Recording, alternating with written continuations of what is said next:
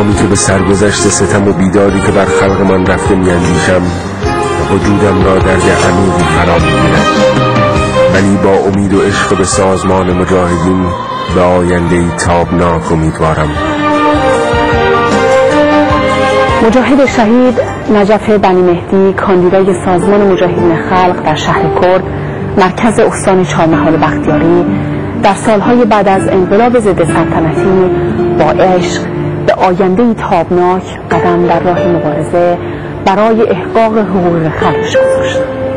فرزند دلاور مردم شهر کرد که از کودکی طعم فقر و درد رو چشیده بود و به مجاهدی قاطع و با پشتگار در انجام مسئولیتهاش با عشق وافر به مردم و آرمان بالای مجاهدین و مملو از گذشت و ایثار در راه خلقش تبدیل شده بود.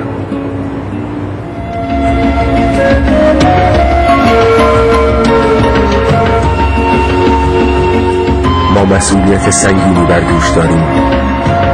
حالا که از چنین اعتمادی از سوی خلق برخورداریم چیزی جز مسئولیت بیشتر به ما اضافه نمی کند